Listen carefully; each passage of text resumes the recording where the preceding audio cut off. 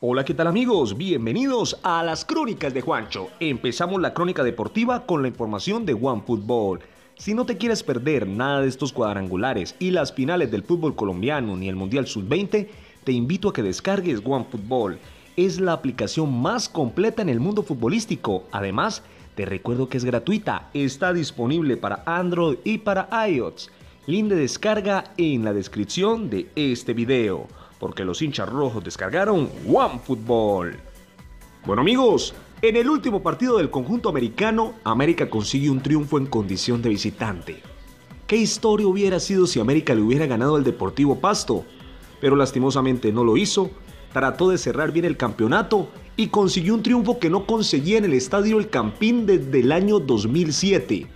Un América de Cali que le daña la fiesta al conjunto de los millonarios que era el más favorito para llegar a la final del fútbol colombiano. Acaba de clasificar a esta final el conjunto del Deportivo Pasto. Un América de Cali que empieza perdiendo rápidamente el compromiso, pero sabe América mantenerse en un orden táctico que no lo vimos en partidos anteriores. Un América que insistió con un jugador importante como Medina, que de golpe de cabeza puso el uno por uno. Y rápidamente en una jugada de tiro libre, en una jugada de esas de laboratorio entre Jesús Cabrera y el muchacho Carlos Sierra, América marca el segundo. Es cierto que América jugó con 10 varios minutos, pero una América que jugó tranquilo, una América que jugó diferente y le aguó, le aguó totalmente en el Estadio El Campín la fiesta a todos los hinchas azules. Una América que muestra por lo menos que cerró con decencia y diciéndole a su hinchada, perdónennos, vamos a hacer todo lo posible el próximo campeonato para poder llegar a una final. Este América tenía con qué llegar a la final, señores.